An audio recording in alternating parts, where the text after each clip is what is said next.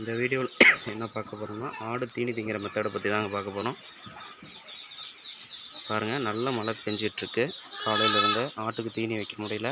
அதனால் நம்ம செஞ்சுருக்க ட்ரேவில் மேலே தகர வச்சுருக்கோம். அதுக்குள்ளே ஆட்டுக்கு தீனி கொட்டி விட்டோம்.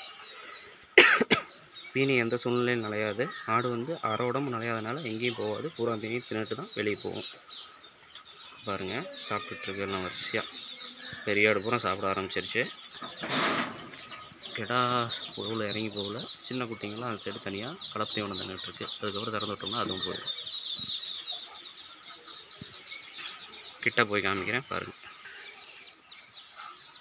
இதை பாருங்கள் எப்படி தின்னுட்டுருக்குன்னு சொல்லிட்டு. இந்த தகரம் இந்த ட்ரேவுக்குள்ளே தான் உள்ளே தின்னுட்ருக்கு எக்காரணத்தை கொண்டும் உள்ளே மழை தண்ணி விழுவாது ஆடு பூரா பாருங்கள் எப்படி அரை உடம்பு வெளியே இருக்குன்னு பாருங்கள்